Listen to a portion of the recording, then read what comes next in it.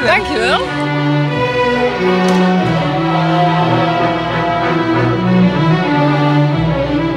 Deze muur is een symbool van de bezetting.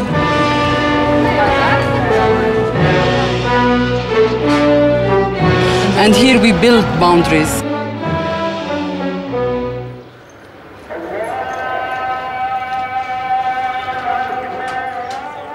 fiat voluntas cielo.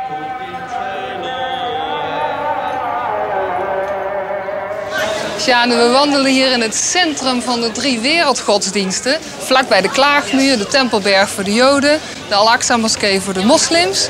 En we komen hier net uit de Heilige Grafkerk, waar Jezus gekruisigd en begraven is. Wat is Jeruzalem voor jou? Wat betekent deze stad? Nou, Jeruzalem staat voor mij symbool voor uitsluiting en onrecht. En dan heb ik het over Palestijnse onrecht wat er gedaan is. En Jeruzalem, daar zie je dus dat er heel veel eh, mensen van buitenaf zijn.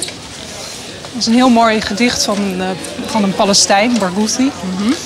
En die zegt, Jeruzalem is wie in Jeruzalem is, behalve jij.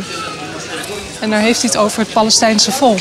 Die niet hier naartoe kan. Nee, precies. En in de afgelopen jaren dat ik hier werk, maar ook daarvoor, zie je toch steeds minder vaak Palestijnen in Jeruzalem rondlopen. Dat is natuurlijk iets heel raars. Terwijl ook voor hen hier religie een heel belangrijke plek heeft hè? Precies. in deze stad. Ja, dus ik kan wel vanuit het Westen heel makkelijk zeg maar, naar mijn geloof, naar de belangrijkste plek. Plekken. Maar iemand die 500 meter verderop woont, die kan dat niet. Dus, ja, dat, dat heeft een heel dubbel gevoel. We laten de drukte van Jeruzalem achter ons. En Jane neemt me mee naar het eeuwenoude pad van de Emmausgangers. Net als Jezus destijds een stuk met de Emmausgangers opliep en hen steun en hoop gaf, probeert Jane hier namens hulporganisatie Cordate onderdrukte mensen te ondersteunen.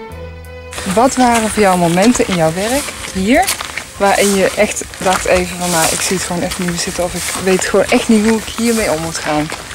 Dat is het verhaal van eh Saad. En Saad was een jongetje die ik eh, ontmoette in het ziekenhuis in eh, Gaza.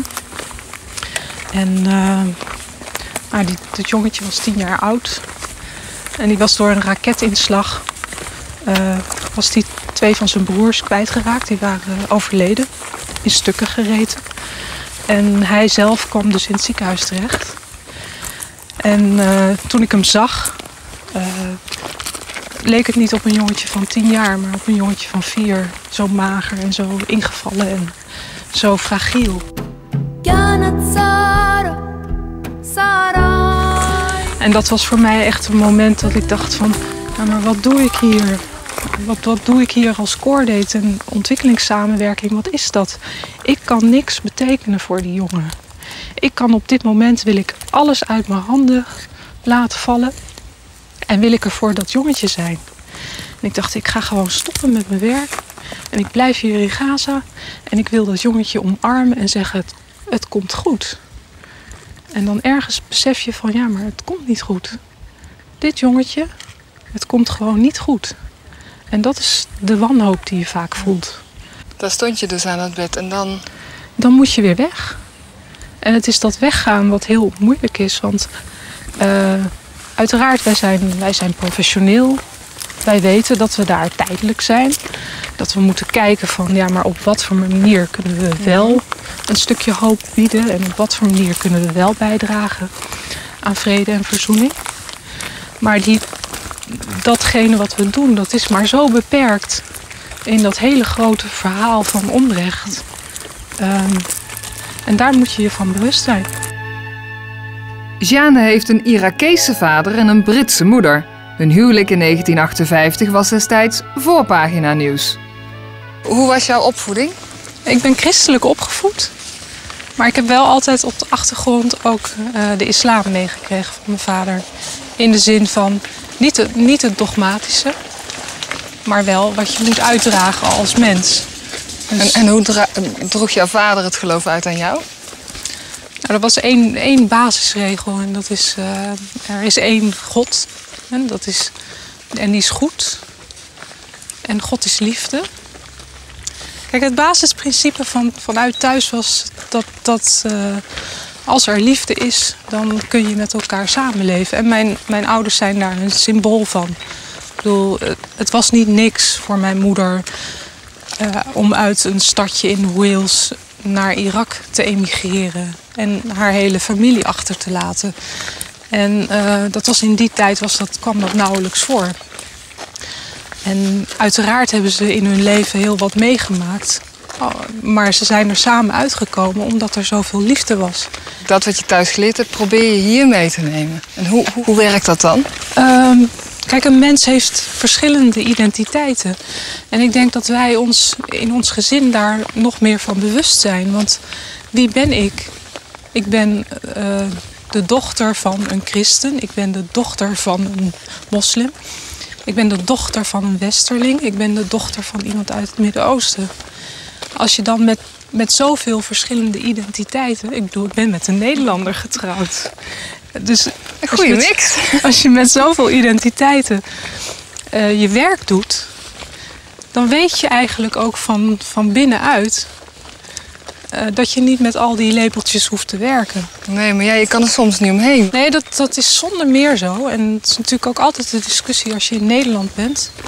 Van, ben jij dan pro-Palestijns als je zegt dat er Ja. zoveel onrecht is? Eh, waarom ik Jij wordt ook in een hokje gestopt. Ik word voortdurend in een hokje gestopt. En iedereen wordt altijd in een hokje gestopt. Maar kun je daar aan Maar ik zeg, altijd, ja, ik zeg altijd, ik laat mij niet in een hokje stoppen. Want ik ben niet pro-Palestijns. Maar jij werkt veel voor de Palestijnen. Ik werk veel voor mensen die in een uitzichtloze situatie leven.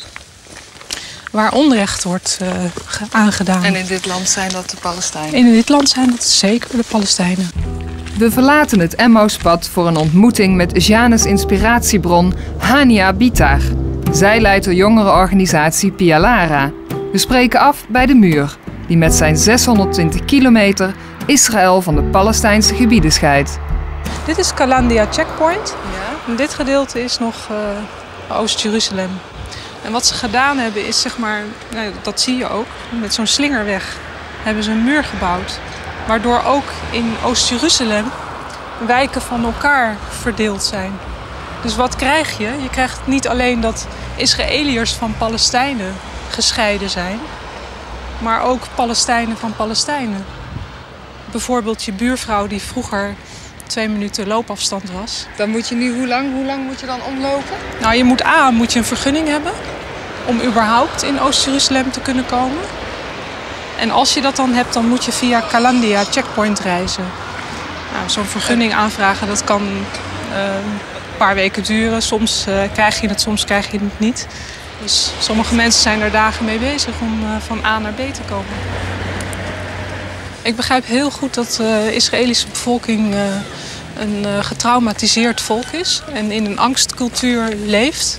Maar wat ik niet begrijp is dat eh, de politiek eh, die angstcultuur voedt. En ik denk dat als je zeg maar wilt samenleven, eh, dat je er beter aan doet om bruggen te bouwen dan dat je muren opzet. Deze muur is een symbool van de bezetting. En dat is op zo'n intense, vrede, vrede manier tot stand gekomen. En ja, weinig mensen realiseren zich wat het is om onder bezetting te leven.